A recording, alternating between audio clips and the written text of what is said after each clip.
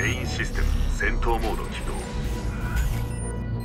始めましょうレイブンアスタークラウンのパイロット識別名金魚の作戦成功率は89.6%その極めて高い技量から完成された傭兵と称されています。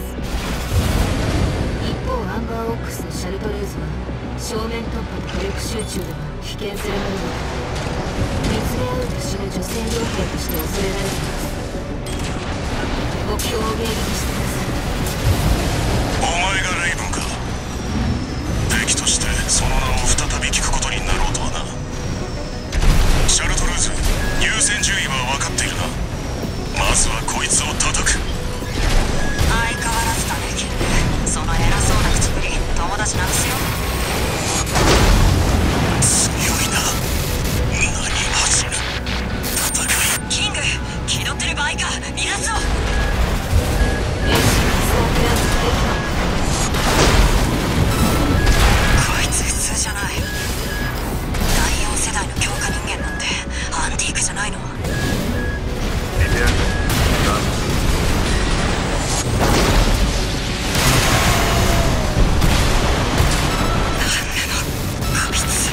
AC アンバーオックスを撃破。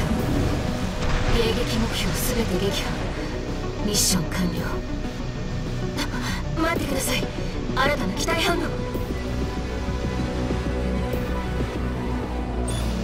強化人間 C4621 レイブンの名を返せとは言いません。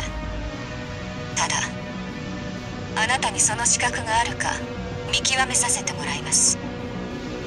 あの二人をすでに退けている。レイブ注意してください。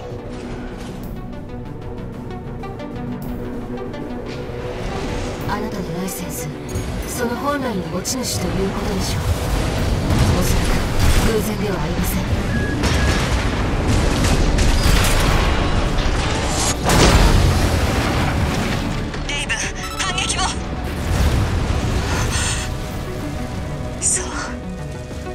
見届けようというのね。